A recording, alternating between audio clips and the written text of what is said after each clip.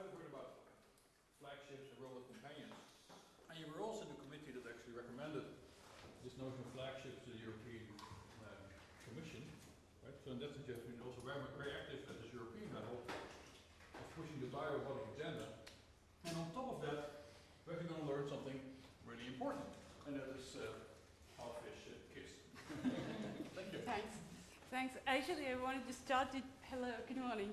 I wanted to start into making a little bridge between yours talk before, because I was used to work on EAPs before I got desperate and moved on.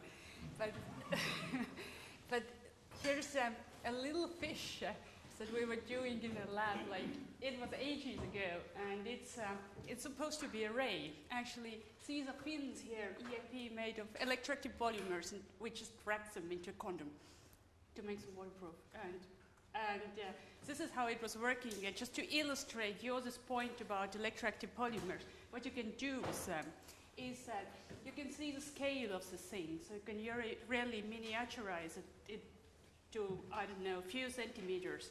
And this is something that you definitely cannot do with the current technology of uh, DC motors. Just to give you a comparison, for uh, the best known example I know is uh, a ribbon fin actuator by Malcolm MacIver from uh, Northwestern University. And this is a really, really complicated mechanical design. It's a fabulous piece and it works well. Uh, but you can see how mechanically complicated this thing is.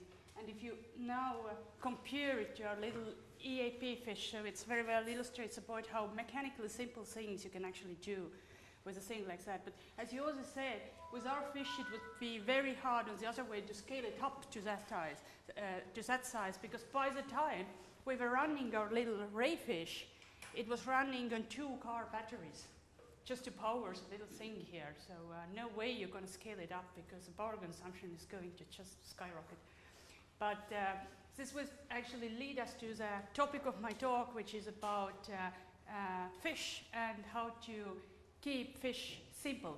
So uh, if somebody who is not with the engineering background here maybe doesn't know that engineers like the term KISS, and this means keep it simple, stupid. Because this is normally what happens with uh, design. I think it comes from the software development developers community for some reason because their code is going to explore very, very fast. So the KISS approach is very important for them to, to keep in mind that the same thing holds for mechanical engineers, electrical engineers, basically everybody.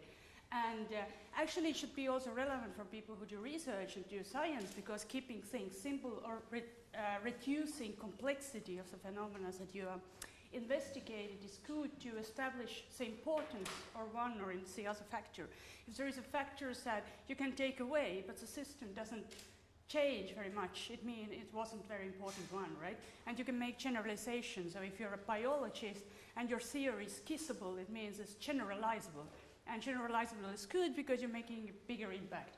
So this is why I want to emphasize reductionist approach, but I just restricted, I, am not making any grand claims that this is a way you should do biomimetic design, but just giving few examples on a very specific field of fish locomotion and sensing, and just to recognize people who have financed our research so uh, all this work and represented this comes from me and my colleagues on a FILOSE project financed by European Union. And FILOSE, uh, um, FILOSE stands for Fish Locomotion and Sensing. So this is what we do. We investigate how fish move and how they sense, and then we try to make robots that do in the same way. Or the other way uh, speaking, we uh, go for bio-inspiration and then we uh, build robots, but also we do the other way around, which may be relevant here for people who come from background non-engineering is that robots doesn't need to be the end of the story. It also can be a tool that biologists can use to investigate one or the other phenomenon.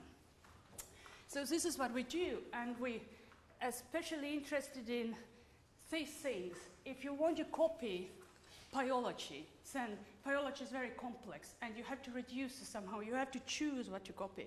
We say, go, uh, fish excellent swimmers. We want to do robots that are like fish. But what's important? Is it the way they look like? Is it like their embodiment? The body, like how you're made up, like what properties your materials have. is the geometry uh, important? Or uh, is it the way you're actuating important?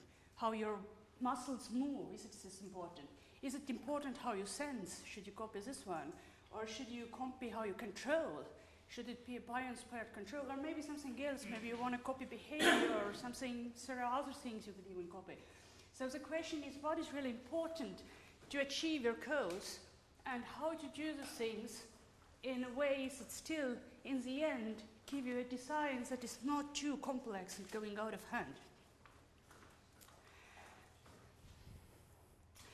So, uh, um, just to give you a little idea of what we want to copy, we go and um, uh, make a brief in introduction about how fish move and how fish sense.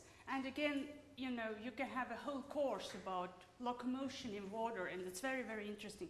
But we do a very short introduction just to make you understand what we're dealing with, and we restricting ourselves uh, to um, fish that are fishy fish.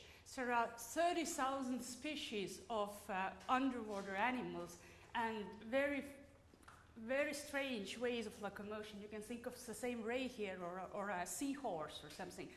But uh, this is how people normally perceive what is fish. It's kind of um, a way of locomotion that researchers call body and caudal fin locomotion. This is what most fishy fish do. And the mechanics and physics behind it is that you wave your body and the energy is going to travel along the body. And then you're moving away a certain amount of water. You're converting some momentum to the water and you're pushing yourself forward at the same time. So this is what you do. You're, you're uh, sending energy backwards and with this energy you're um, pushing away from the water and you're going forward. And of course there are different ways you can do it. Uh, you can move only a little bit of your body, and this is what tuna fish, tuna fish do, and they get very high speed out of it. They're very, very, very fast. But when you have to stop, you know, it takes them for ages to stop and turn around. Um, uh, compared to eel, for example, who is an anguilliform swimmer and just wiggles as a snake, and this is, it's not fast, but it's very, very maneuverable, very agile uh, animal. And then there are other species that are in the middle here. They um, move a, a, longer or a shorter part of their body. These Japanese koi fishes here, they're classified as subcarangiform swimmers. And this is like um, subcarangiform swimmer is a very generalist swimmer. It can uh, make it in all sort of environments, in very still water like here, but also surges and waves, uh, waves and rivers and ponds and everywhere. So also salmon, for example, uh, and um, trout belong to the subcarangiform swimmers, and they have to survive in different environments. and migrate upstream, and since they spend some of the time in seas, and all the embodiment has to be such that it can um, cope with all this diversity of different underwater environments. So that's about fish locomotion.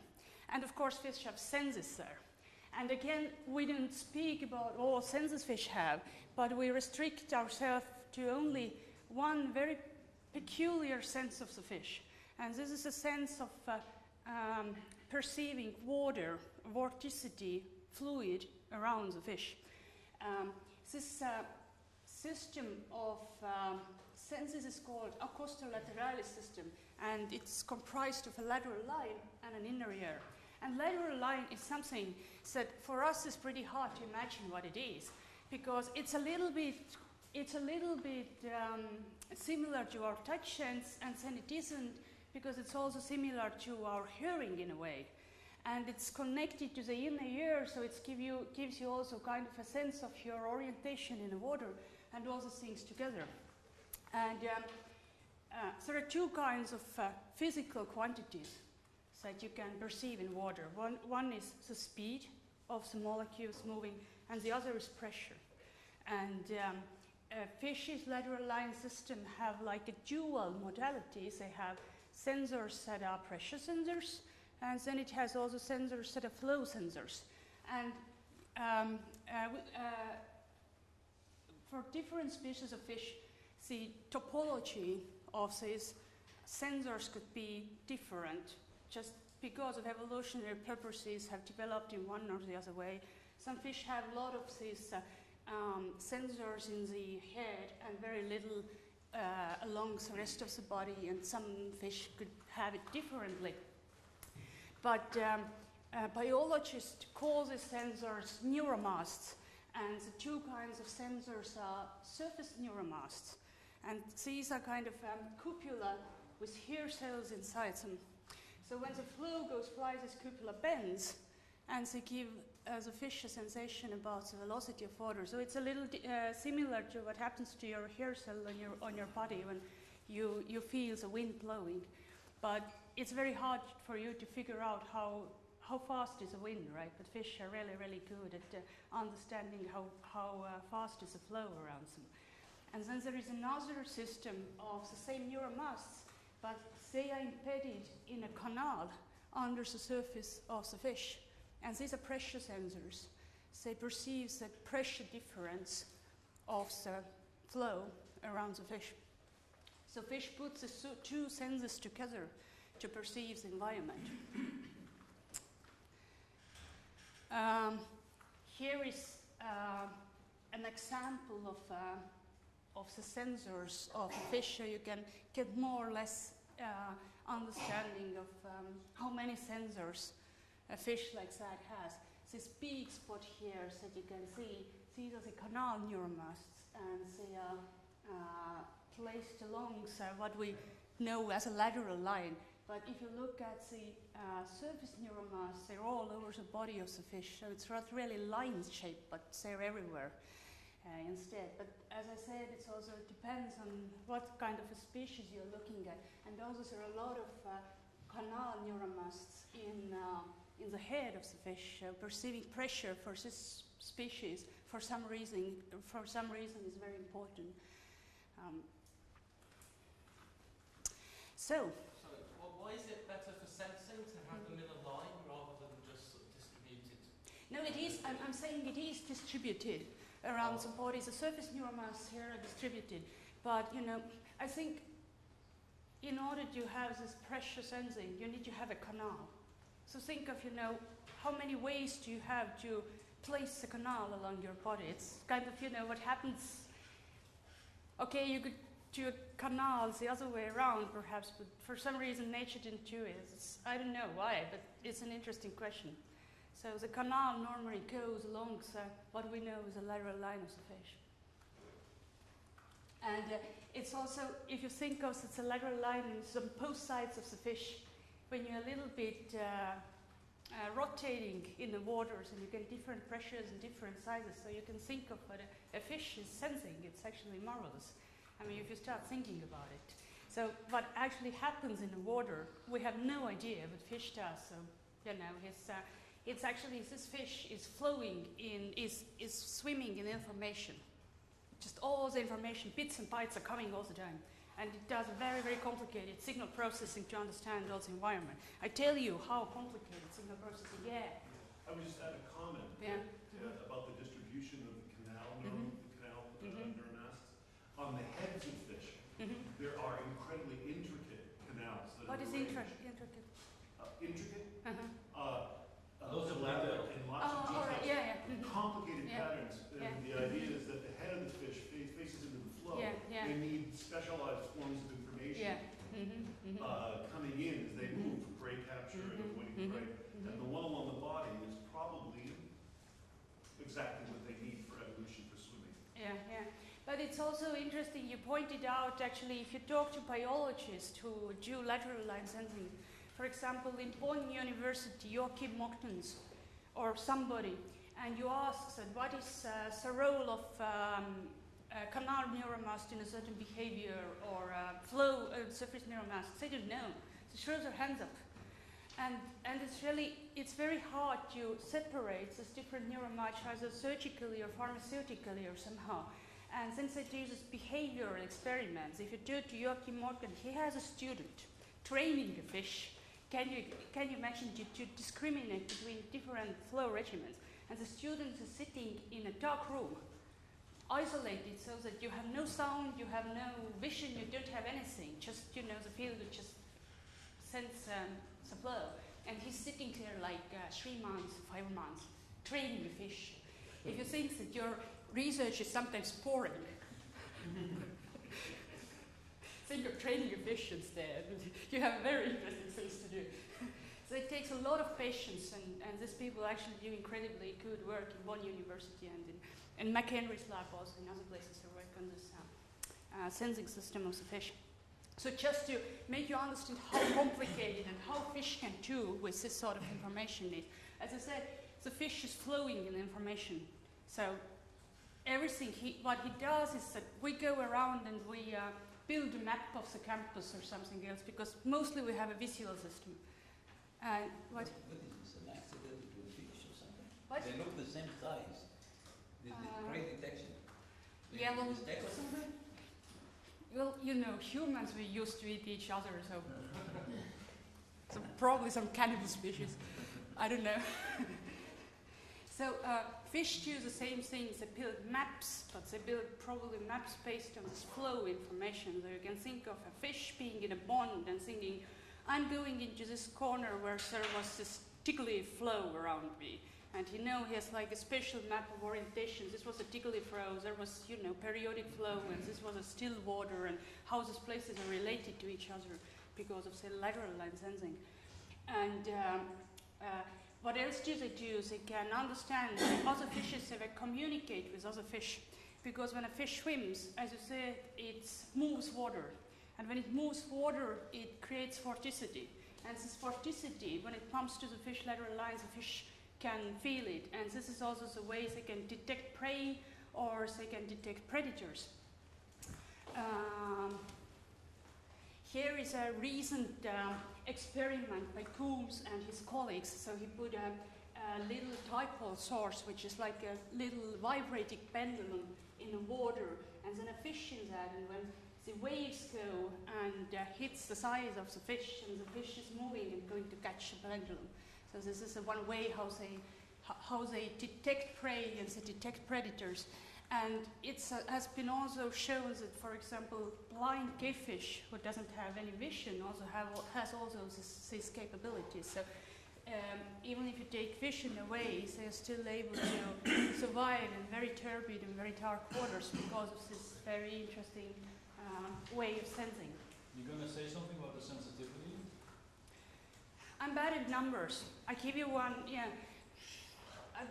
Uh, it's on one of my slides, so I'm, I'm getting Okay. there, yeah. hmm Don't ask me numbers. I have terrible problems with remembering numbers. yeah. Uh, so, um, uh, one kind of a reflex of behavior that fish do when they uh, correspond to the changes in the flow is called rheotaxis. It's a taxis behavior, it means it's respond to a stimulus or a stimulus gradient in a way. And the most, uh, uh, most of fish have it, almost all fish have it in some form or the other. And um, uh, the most common way of a rheotaxis is how fish orient themselves with respect to the stream of the flow. When the flow is coming in, they orient, they orient themselves with a nose facing the stream. Why do they do that? Uh, migrating species do that to migrate upstream in the rivers, but also if you're standing in a place where there's a flow coming in and you stay there and you open your mouth, then you're probably most likely to get the freshest plankton and what, whatever is flowing there, and you get it right there. Uh, so rheotaxis behavior is important for fish. But as you can see here, there are very many different uh, underwater environments. There are so many of them. So the next question we have is that how do we make sense of it? If we say that fish are maybe building these spatial maps of hydrodynamic maps for from themselves, how do they classify which invent which how do they categorize different uh, uh, hydrodynamic events? And um, we didn't know how they do it, but we know how people in fluid dynamics categorize different hydrodynamic environments.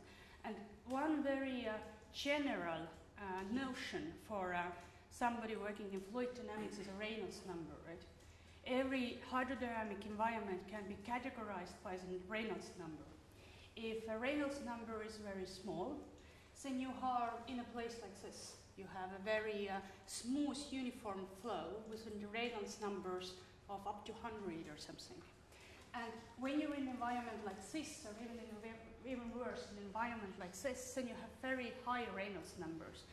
It's chaotic environment. It's just turbulence, chaotic turbulence in places like this. And then you have somewhere in the middle when you have moderate near Reynolds numbers. And these environments are really, really interesting for the fish. Why is it interesting? Because uh, some places you have a smooth water, and in some places you have more turbulence.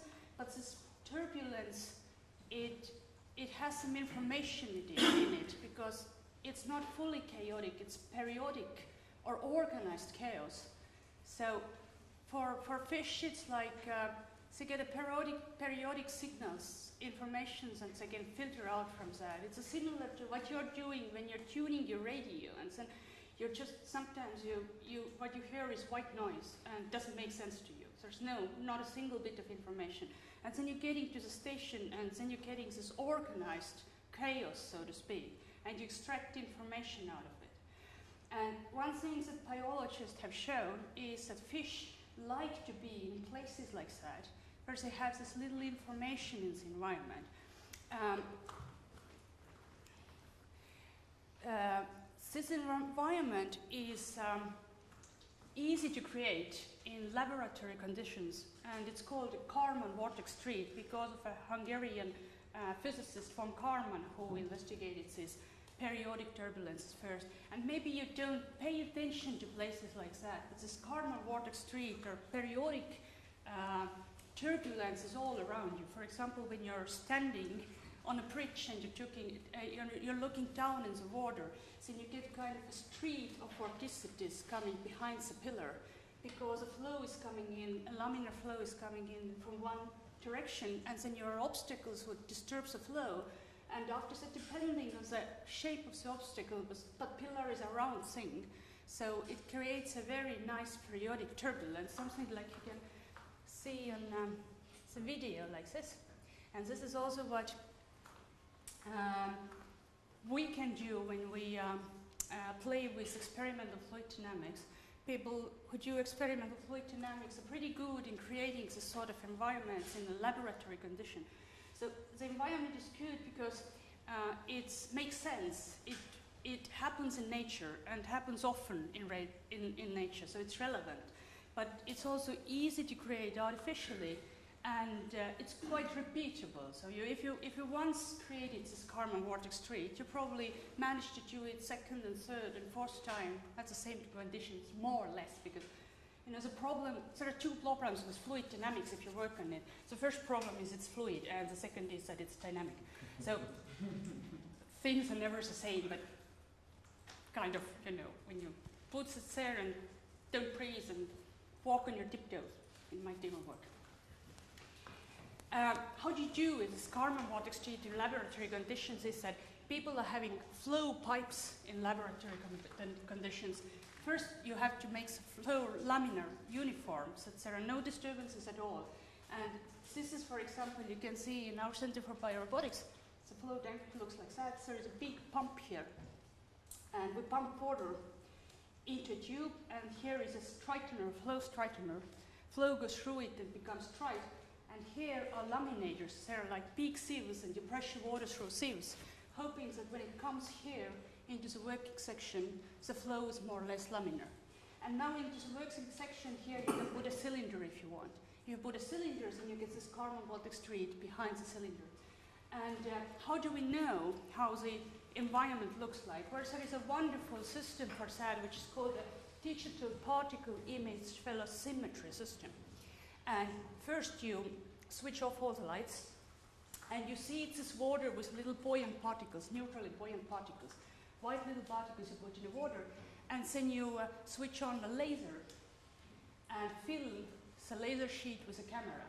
And what happens is that all these particles in a flow will light up, and you can see how the vortex is moving. Here is a cylinder here, and this is the vorticity behind the cylinder. now, when you do some image processing on a cylinder, you can actually write up the vector field, or you can do even more complicated analysis on the flow here. Here's another example, which is um, Pass University, where you also can see the uh, uh, rotation of the vortexes. So blue vortexes are rotating in one way, and uh, red ones are rotating in the other way around.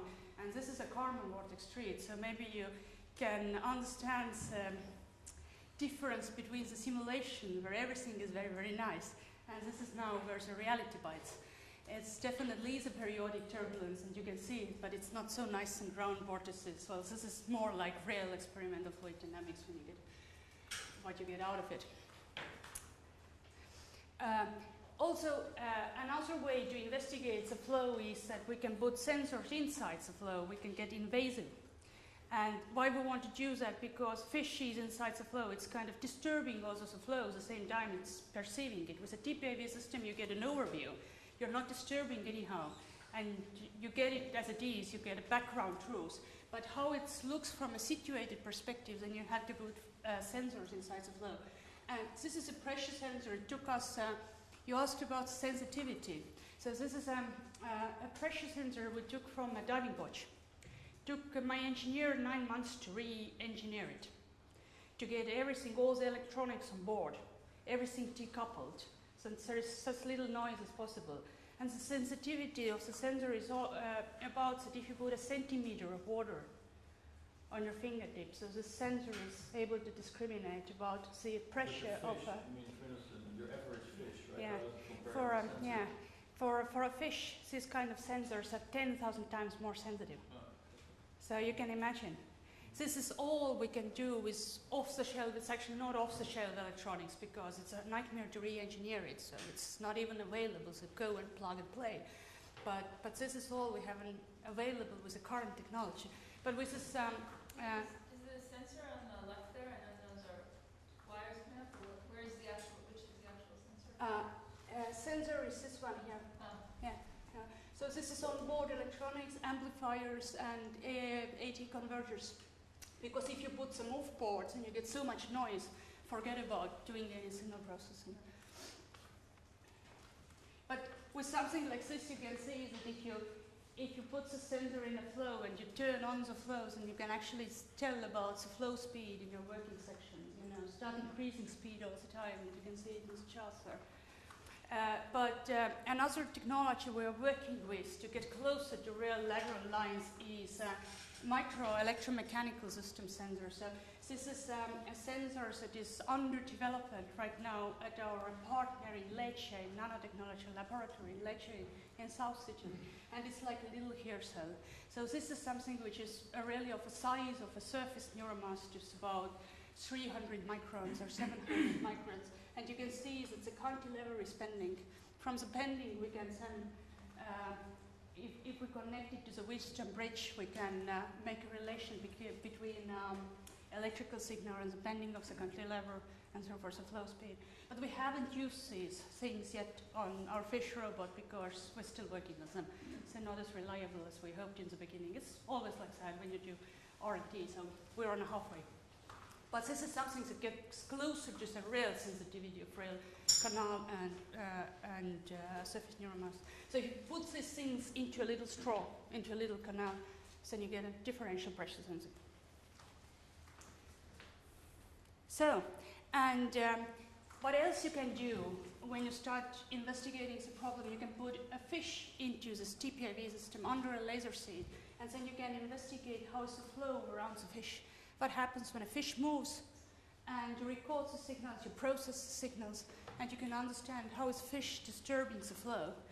So, uh, and and if you if you take this fish and you extract the image, does it work?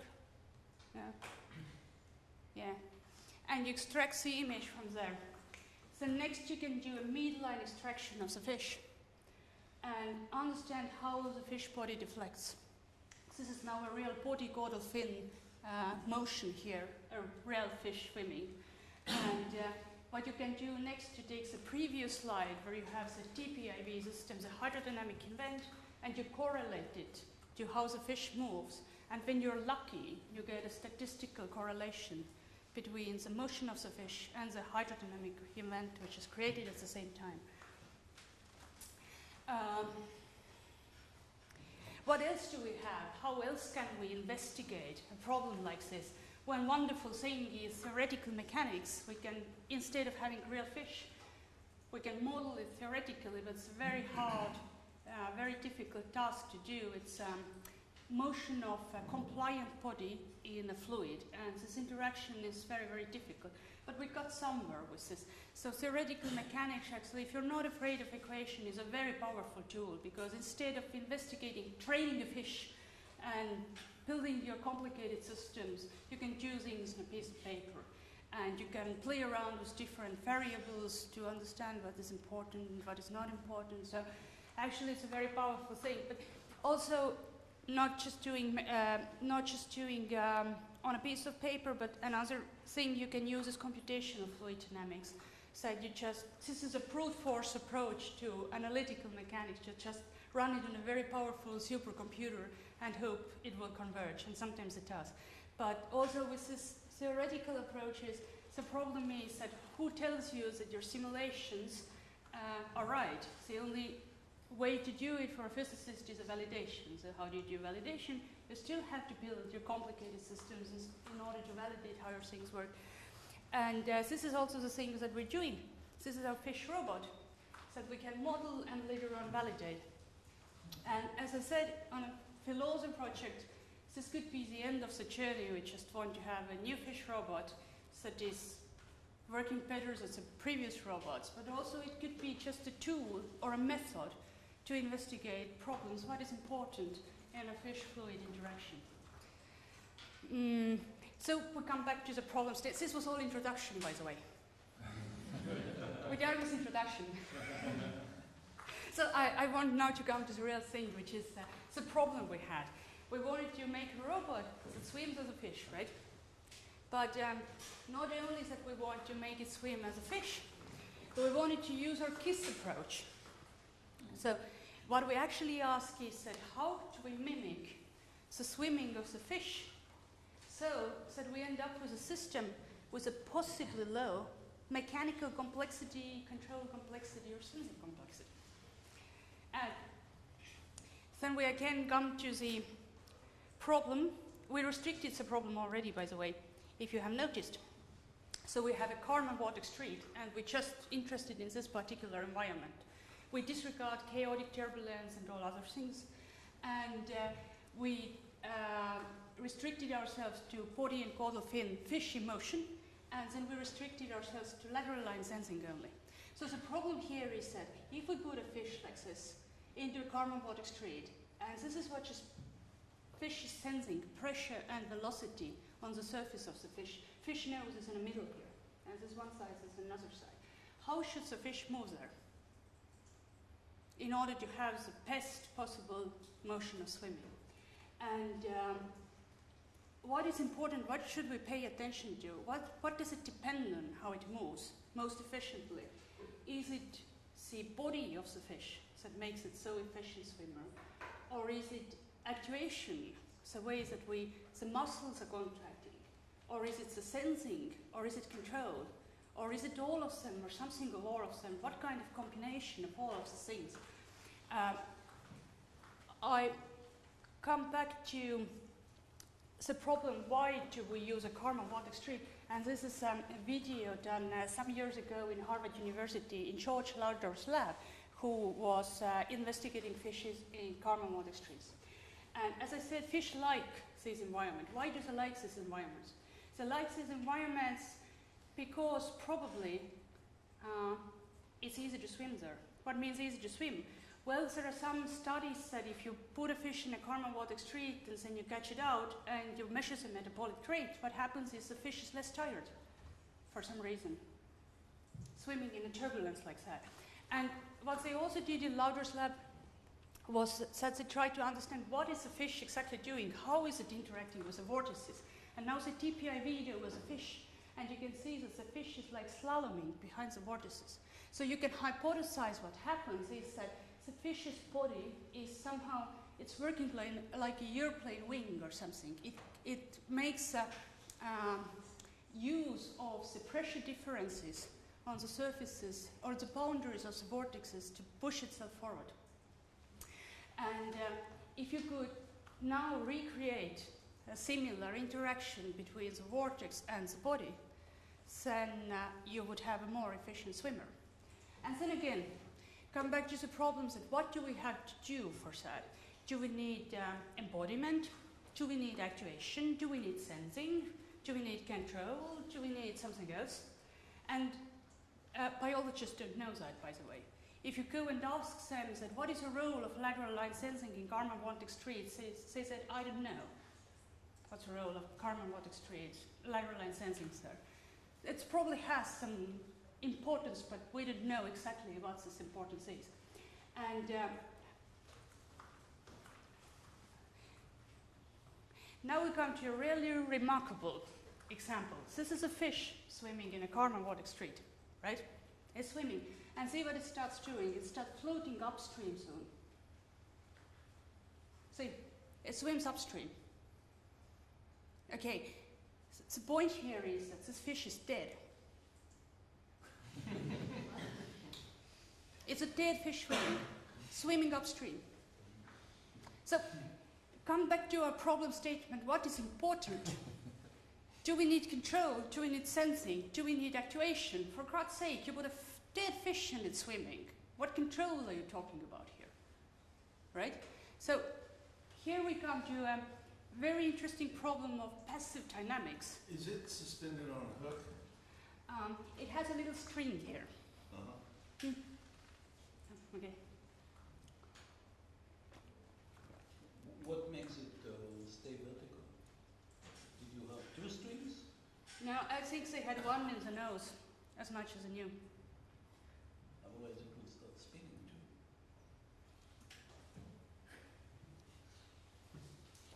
I know. The proof is here. The proof is here, but many people tell you that this is an unrepeatable experiment. Can Nobody ever again? managed to repeat it. Can you play it again? Now we could look that. I, I told you, fish swimming is really, really interesting, isn't it? You can watch all over and over again, all the time. This is, he's So- Carmen, he's Kármán gaiting here. So you're saying dead people can still walk? Is that the conclusion? You know, it's, it's a very interesting thing that you're asking actually, because uh, Oh no, I shouldn't have mentioned this. I know, but it's actually the question you're asking is that, I just shut up, let me, let me talk, that's my turn, right? I was saying that what you're actually asking is that, what is the role of morphological computing in a behavior like this? And this is exactly what uh, people have shown with passive walkers. You are walking, you're going down the ramp, and you have no control whatsoever, nothing active, and you're doing that. So that's why evolution invented rigor mortis, so that bodies don't run away. Well, I, I think because of the phenomenon like that, since again, passive dynamics is why people have been wondering that salmon migrates thousand kilometers up rivers, and when they, start their journey, they stop eating. They don't eat anything, and they go upstream for thousand kilometers. How do they do that? But They often go and rest in places like that when they have vortex street. And they're probably very good at exploiting this sort of vorticity and energy, energy harvesting for vorticity. Well, this is- effectively it would have been worse if it was downstream? No, I don't think so. Because No, no, this no, fish no. look like it is swimming No. towards the stomach. Mm. Hey, uh, And it's against the stream. you know what happens here uh, behind the cylinder? Here is the vortex separation point. Vortices come up from here and start forming somewhere here. This is vortex formation zone. And behind here is a suction zone. This is a zone that you're exploiting when, you, you when you're uh, uh, driving behind a big truck and your energy consumption is smaller. The problem was the fish does in the end here that it's just drawn into the suction zone in the end. With a, with a car, you can't exploit the vortices because you have a rigid body. But the fish can. If your car would look like a sail, maybe you would get this sort of uh, energy harvesting out of the uh, aerodynamic effects. But with a car, you can't. All you can do is to sit here in a suction zone. Fish, I mean, uh, birds fly in formation. And formation help them fly. It's the same effect. Are they doing that? It's the same effect because they also creating the carnamotic streak behind them. And also fishes, they, um, they swim in schools in a diamond uh, formation. That's the same thing, that they exploit the vortices of the other fish. And by the way, it's speculated that how do is with lateral line sensing. So that we when you have your neighbor, your fish friend next to you, then you sense the vorticity of your neighbor fish and you align yourself with your lateral line sensing just, you know, in the formation. But it's not proven, you know. Biologists, they tell us all sort of things, but they can't prove it. so, but uh, there's a question we are asking that what is the role of passive dynamics and what is the role of actuations and do we just can we have a if, if, passive dynamics enough we can have an unactuated robot and we don't even need anything else or do we need actuation and the other point with the actuation is that uh, fish have a very distributed actuation and you can see how much trouble we've had with this, as I showed the ribbon uh, actuator to have a distributed actuation with the technology we have right now because all these motors or gears and bearings and say are bulky, they're big, they're noisy, say everything. So it's very hard to do something that is as agile as a fish and small at the same time, of the size of the fish. You're more, making it more complicated, it becomes clumsier, bigger, it's harder to control. How do you keep things like this simple?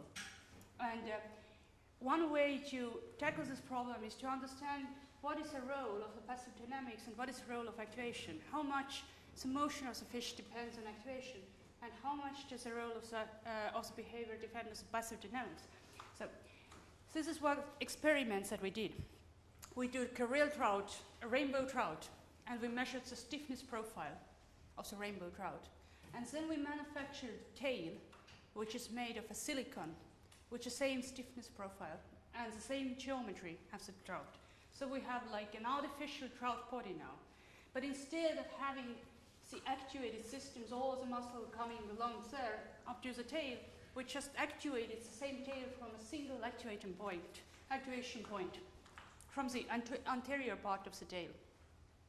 And then we took our motion capture system and we filmed the kinematics and analyzed the kinematics of the fish. What we got is that if we just actuate it with a single actuator, our kinematics is exactly the same as of a real fish. So we didn't need an actuation, a very uh, uh, complicated actuation system, just one actuator was enough. At low speeds, at cruising speeds. When it comes to high speeds or maneuvers like turning or something, it probably doesn't hold.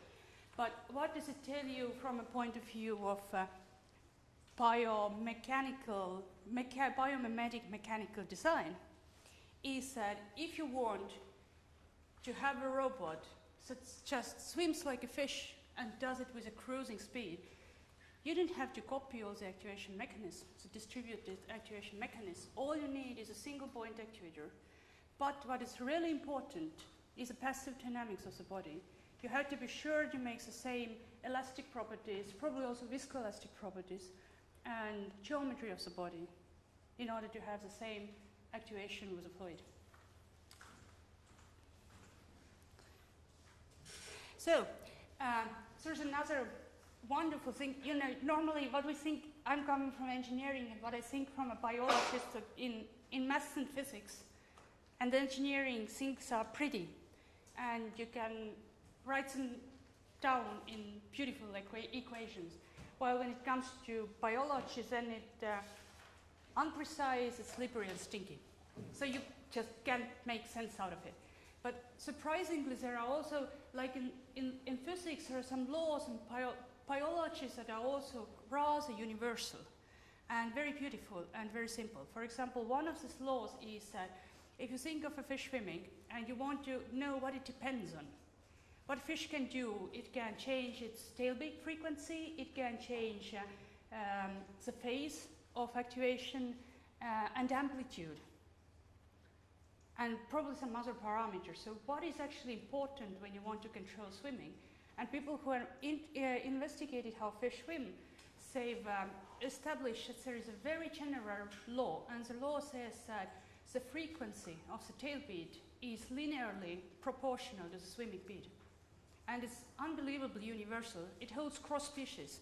People have tried it all over and over again, and it always holds. For example, if you took another variable, you take amplitude, amplitude is completely unrelated to the swimming speed. It doesn't depend at all. You can change it, not to change it, it's still the same. And another, uh, the next question we're interested in when it comes to biomimetics is that if we have this embodiment, which is exactly of a fish, the, the same material properties, the same kinematics, would the law still hold? Which will also, you know, when you're control engineers, you're very, you get very, very happy when you have a linear control law. Because if you don't have linear, you're doomed. You have to make it linear somehow. Pretend it's linear. But uh, we, we wanted to try out whether it holds or not. So this is our little fish. It's a biomimetic fish tail, and we put it on a force plate. This is measuring forces in all directions. And we put the same thing in uh, our flow tunnel, and we create a uniform flow. And by switching the bump more or less off, turning it uh, on or down, we can change the flow speed. And then we rec- record the measurements. What does a measurement tell us is that how much drag and thrust is a fish creating. If a fish is swimming uniformly, it balances out thrust and drag. So you have to watch when the force plate readings collapse to zero, and then you have steady swimming on a certain flow speed. And what comes out from an investigation like this is that what you get is a beautiful linear control law. Here is a fish kinematics measured by Webb and his colleagues, and this is fish kinematics measured by Bainbridge and his colleagues. And this is our. And it's beautifully linear. Uh, its orientation is different because it has a different Strouhal number. And actually, if you try to interpret this slide, it means that um, these fishes are more efficient, which kind of, you know, you would, you would think yourself you're not swimming very efficiently when you have a rod through your stomach, right? So it's creating an additional drag, and this is probably responsible for the um, higher Strouhal numbers. But it, it must also relate, I assume, to let's say the, uh, the, the ratio of the fin size and body size and, and parameters of that kind.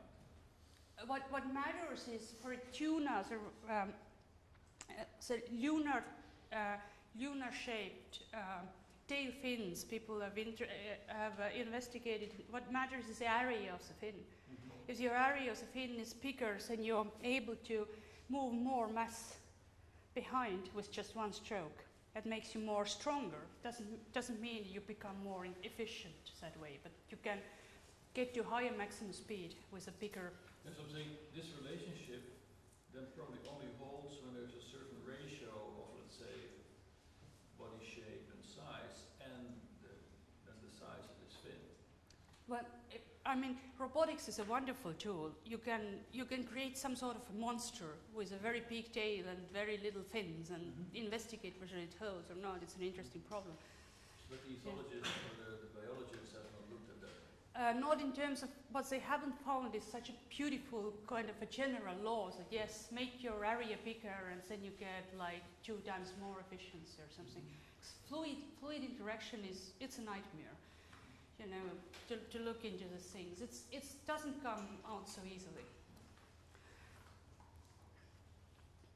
Here's also uh, a, a way of using our pressure sensors and closing the loop between actuation and sensing.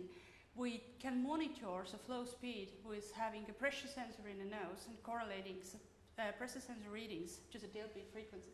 So this is a flow tank here in Tallinn now. The flow striker nurse, the working, working section. This is the pressure sensor we're using. I put the pressure sensors in the head. And then we put the thing in a flow tank and flaps the tail. It gets the pressure sensor readings and flaps the tail, and when we monitor the force plate readings, it's always zero. So it's swimming with the right cruising speed.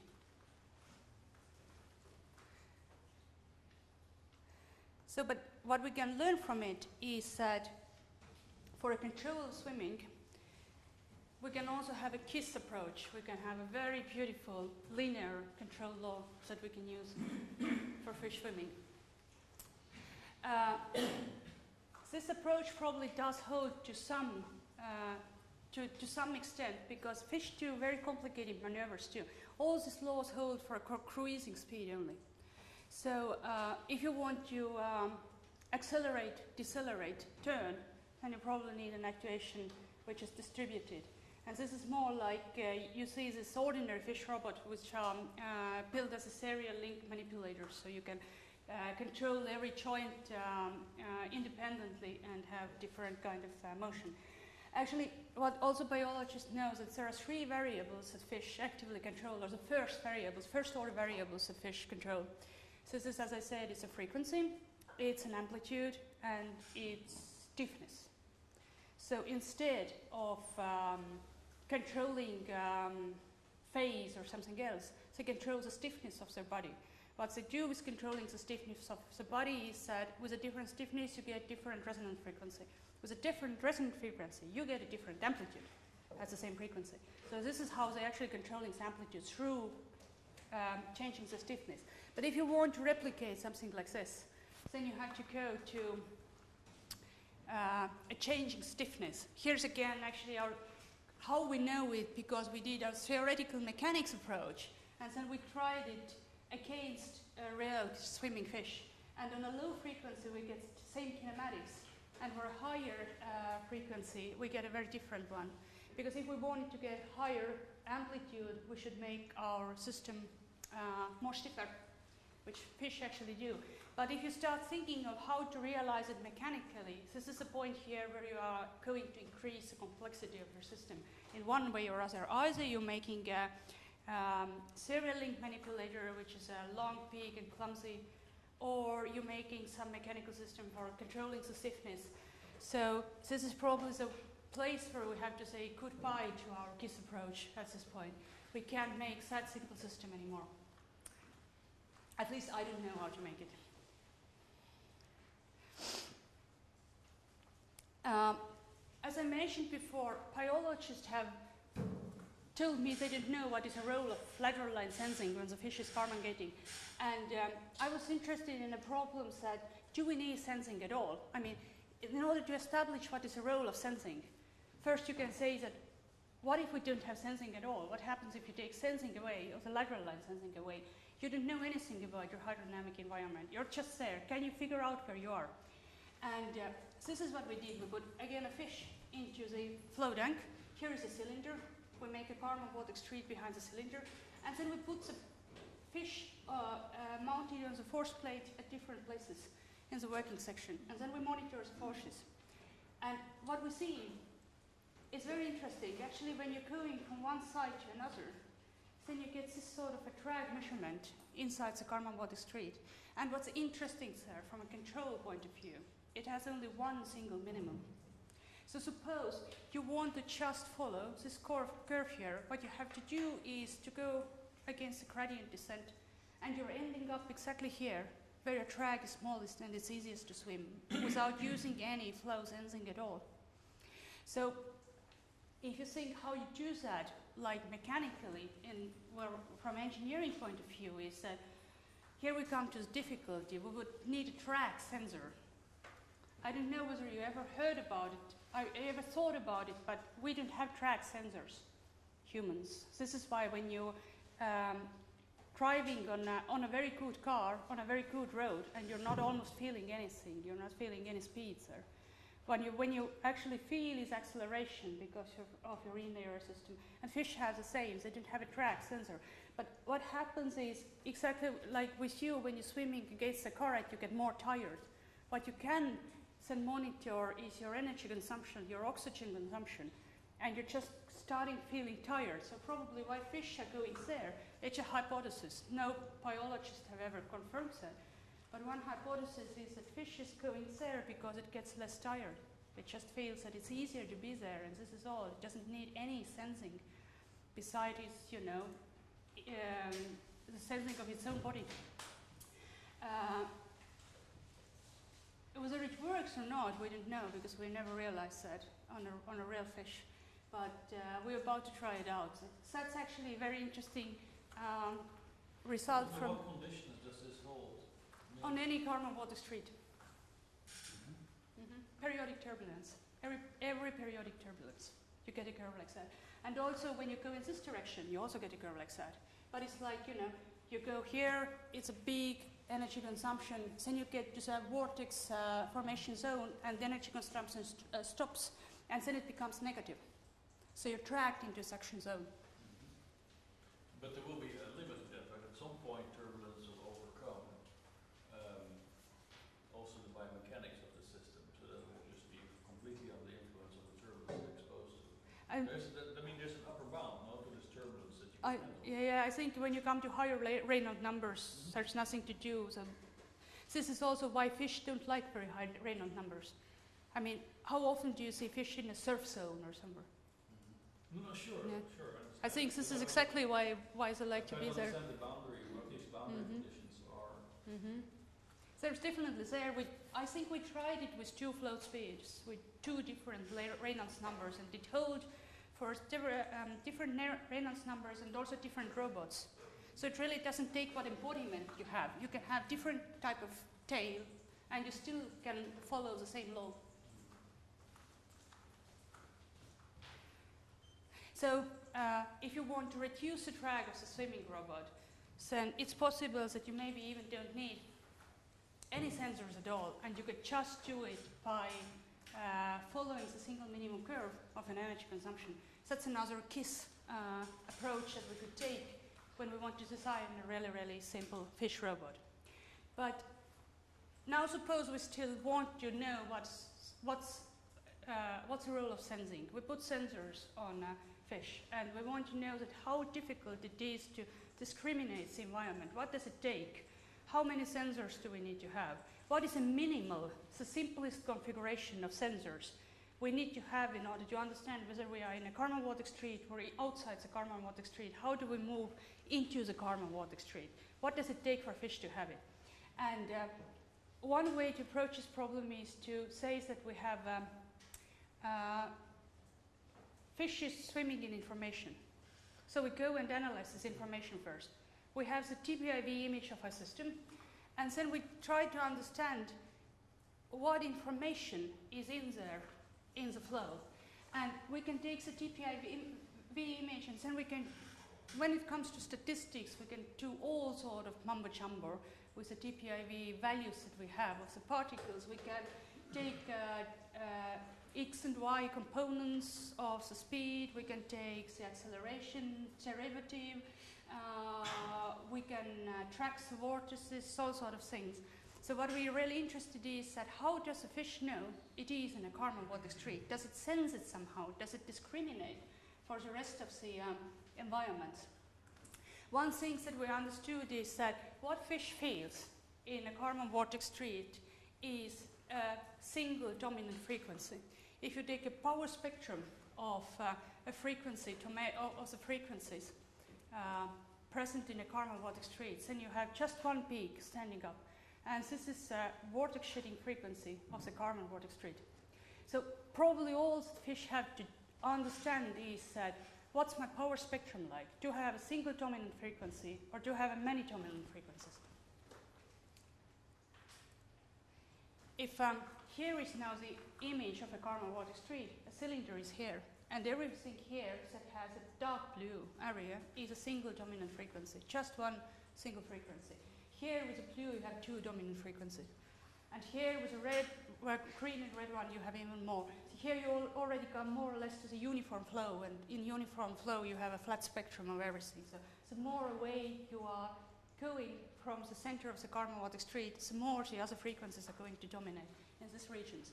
And what we actually could do and find out is that we can prove from an information theoretic point of view that suppose you're a fish and you have only two sensors.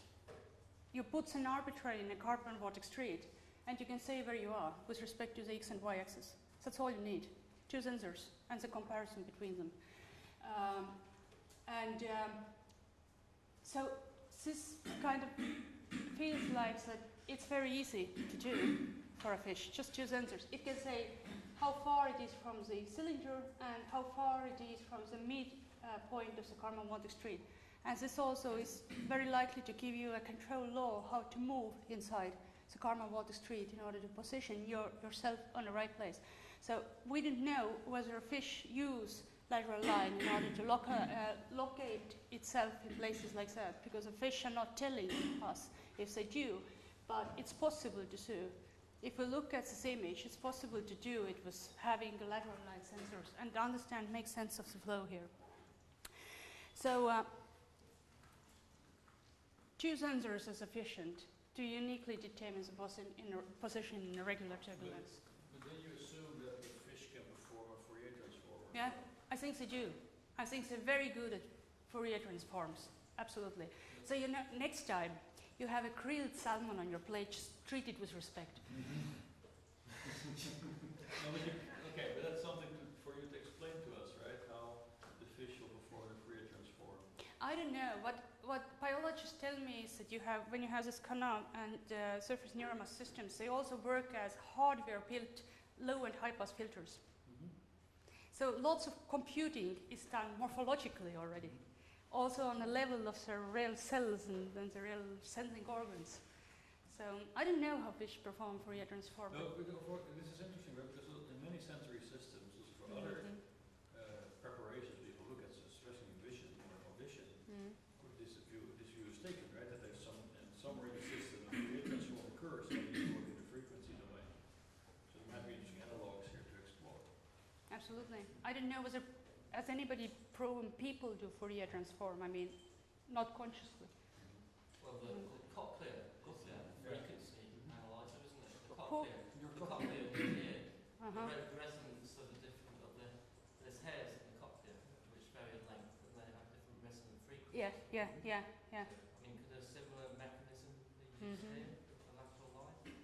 I think it's the same what happens with the surface at canal neuromast that we have this cupula with a, a hair cells of a different length, and it does some filtering, some sort of a filtering there. I don't know exactly what, but there's definitely It's some. interesting, right? Because information. the is like there's an unrolled cochlea, so you Mm. might assume that the same principle holds. Do you know more about it? Uh, I'll just comment that the Mm. biology tells us that um, the strong hypothesis is that the auditory system, the invertebrates, emerged out of the, the lateral. Lateral line, but it's And you so know the I have. computations yeah. are similar. Mhm. And the other thing is the debate isn't necessarily that they do a Fourier transform. There are a lot of wavelet type things that the array can be Mhm. set up Mhm. to make a frequency representation. Yeah. And the thing is that the lateral line is a beautiful place to be. Yeah, but the lateral line enters the fifth nerve, but there's an an auditory system enters the eighth nerve, that doesn't make any sense at all.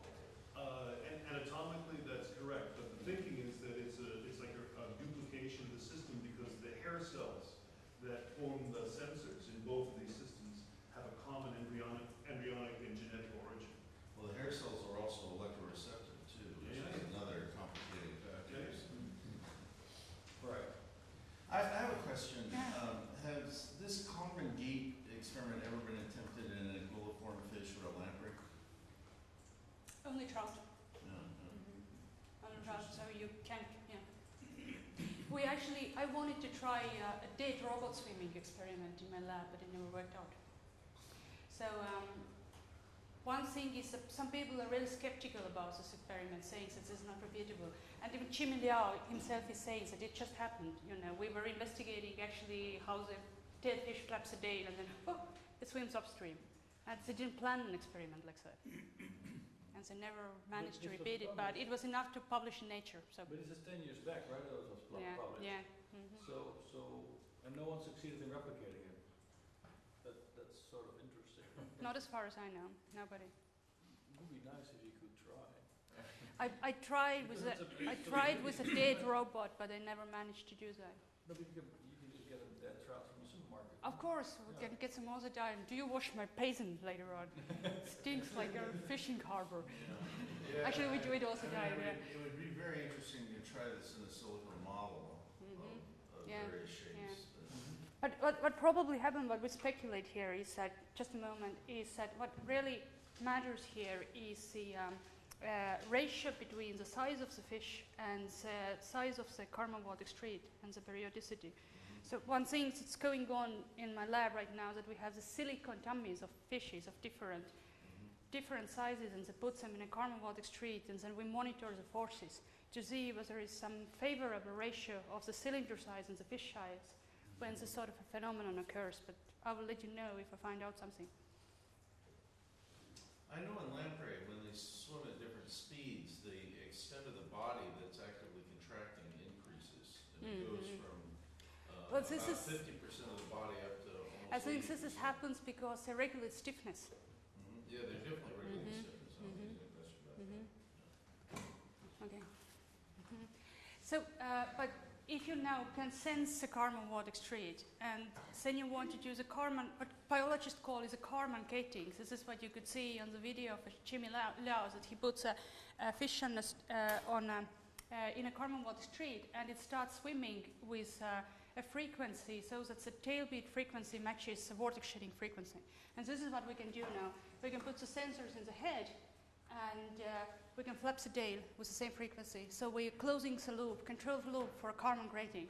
And I think it's a very kissable approach actually, because uh, all that we need is just two sensors in order to understand whether we have a single dominant frequency, filter out this uh, frequency, and feed it to our thermomotor, which is just has one single actuator. And it works perfectly, beautifully. But as you pointed out, I haven't yet, with this kind of approach, uh, gone the en- energy harvesting phenomenon. So what we're working right now is that we have the same picture here, and we're monitoring the first uh, force plate readings. And one thing you want, want may think of is that what really matters is timing. When the vortex hits the head, and then it travels along the body, and when the fish pushes away from it, that probably has some significance. So what we want to do is to understand when we get the vortex here in the head, and then TPIVO as the tail, and to understand that, and at the same time monitor force, to understand that what has to be the relation between this point here and this point here in order to get the best, if not energy harvesting, at least uh, drag reduction. So it's a speculation, but we think it depends on the timing of the vortex. I'm almost there. Um, yeah. Um, here's another thing that you can do with flow sensors when you come out from a Kármán vortex streets now and you go to the uniform flow. So as I said, rheotaxis is a um, phenomenon where fish uh, uh, face the stream. And again, it's the simplest controller for a robot that you can imagine is a Braitenberg controller, I think. Otherwise, no control at all. So a Braitenberg vehicle, uh, does everybody know what a Braitenberg vehicle is? I, I know at least one person who didn't know in this room, but okay. But you But he, but yeah, but he's very quiet, so. But I, I think an interesting issue, is there any other possible controller?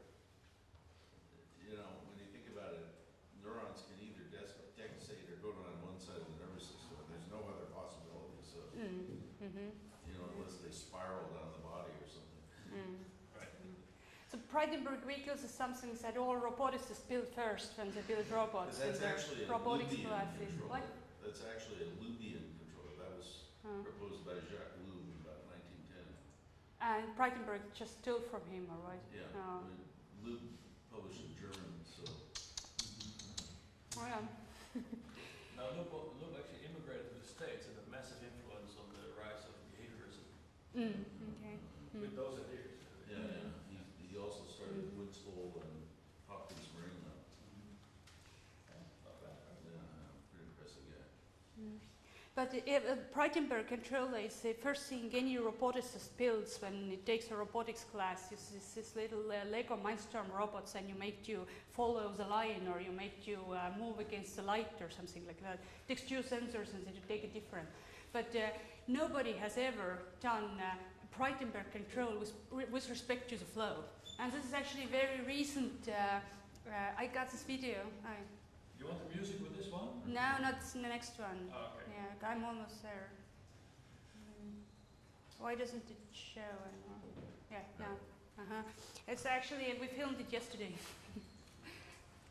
so this is a fish robot.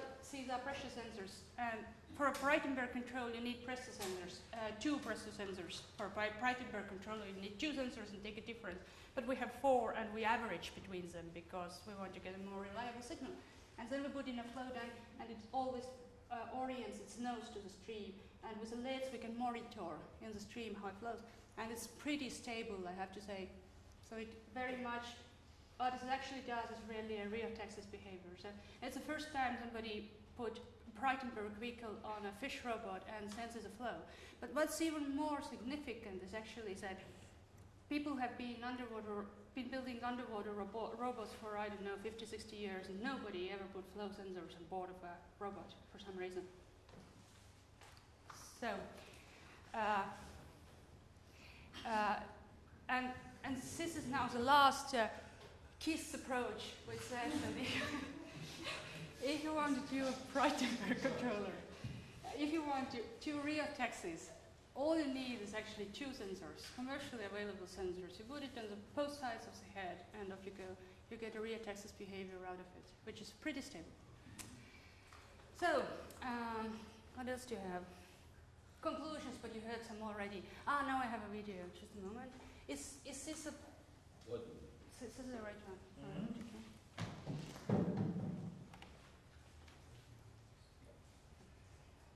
Oh, just one more slide. And just I got inspired from so many people, and I'm working with so many people. I just wanted to say a little thank you to all those people I've stolen ideas from, and who work with me, and uh, who work hard in my lab to get all these experiments done, which is underwater engineering and fluid dynamics. Experimental is not an easy thing to do. So, all my credits to all my team and FILOSE team and, and all those people. Um, greetings from the whole FILOSE team, but uh, we also have a little video in the end, like um, of the Philosopher project. Does it play? Hmm. No. Is your screen? Hmm? Yeah, it's on my screen. Let's search it in just a moment. I can run it um, outside of the presentation.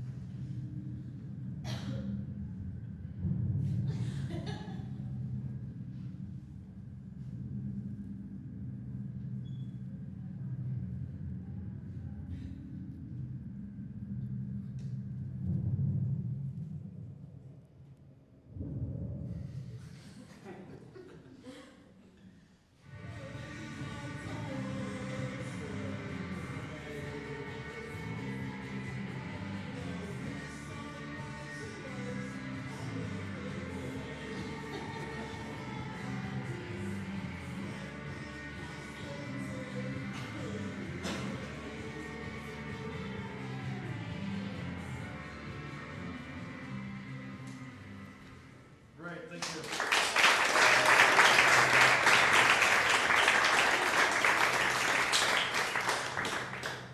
All right, questions?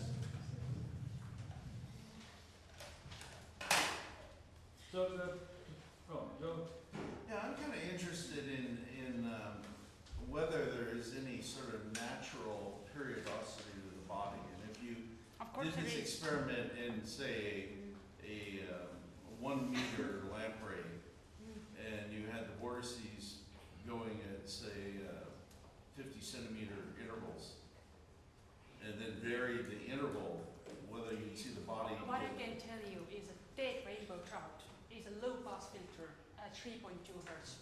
No. It has, it, it definitely depends on the material properties of the body, viscosity, elasticity. It's a low pass filter some, of, at some sort. And with the bigger animals, bigger animals normally get stiffer, right? So you can wonder how, how it, um, how it will change stability of the system. Well, I can, I can guarantee you that a dead lamprey is pretty limp there. But I, I'm just wondering if, if in fact you could induce it to show different relationships between the propagation di- distance of the wave and the, and the periodicity, you know? Um, I think I think there is something into it, and and this is also um, um, to previous questions that why don't we see fish swimming, dead fish swimming upstream all the time? And I think it's exactly what happens is that you have a very delicately tuned interrelationship between the material properties of the body and the periodicity of the environment. Because this happens, you get an effect like that, you go publish in Nature. Well, the, the other issue is that they're statically unstable, um, in role playing because the center of mass is, uh, above the center Well, of the buoyancy. dead fish bellies up, right? Yeah, So- yeah, yeah, yeah, yeah, yeah. yeah. And so, in those experiments, they go belly up. Uh, you mean the house experiments? Yeah. Oh, I haven't seen the belly up. Yeah, that's, Mm. that, that's a kind of interesting issue in and of itself, you know. Mhm. uh, the buoyancy. Other questions? So in some sense, you, so you advertise uh, Kiss, and I'm a bit disappointed you're not wearing some uh, plateau uh, shoes with it, but okay. Next time. exactly. Um, but in some sense, you could also, so, but you look at the number of phenomena that actually have not really been addressed yet, right? There- There's not like a state, uh, an established state of the art respect to, let's say, building artificial fish and how they should swim and so on. Mm. And you could actually argue that with your approach, also things are getting more complicated because you talk about a much more integrated system. To understand swimming, you look much more now at the relationship between sensing, morphology, and signal processing, while the engineer who is not wearing your plateau soled shoes would say, oh, but look, we have it all sorted because of these nice modules and they exchange signals, so it's very controllable, very simple. Mhm. So I could also argue that actually you make it much more complicated. So why Um, should we still call this yeah. KISS? uh, because I'm making things complicated research-wise, probably is going to merge, hopefully is going to merge, is some very, uh, very easy engineering approach. But engineer, engineers don't do because they do incremental things, and they have to do incremental things because they're engineers. They don't do research. But uh, uh, with this body fluid interaction, people have investigated com- morphological computation um, out for passive walkers. And why they don't do it in underwater robotics, I don't know whether you ever noticed, that all technologies move underwater about with at least, I would say, 10, day, 10 years of delay. Because with every technology or research, it's easier, you know. Underwater engineering is such pain. Have to Nobody does- breath for a long Yeah, yeah. So it's always easier to try the things first on Earth and then go underwater Right. on the ground. Mhm. But now, is it the notion of morphological computation like a misnomer in some sense? Because in some sense you say we don't need computation, right? Yeah, yeah. I've thought about it. I don't know. Maybe you're right. Mm-hmm. So it's yeah. Okay, Yeah. well, we agree on that, so thank you very Thank much. you. Well, the, the aspect ratio of your fish in terms of its dorsal-ventral depth is much different than a trout. Was there any significance to that? Engineering problems. I see. Yeah, yeah. Giving you a It can have some. It, it maybe has a significance, but this was all we could do. Get the electronics into the head. Yeah. So Yeah. Okay, so Maarja, thank you very much. Thank you.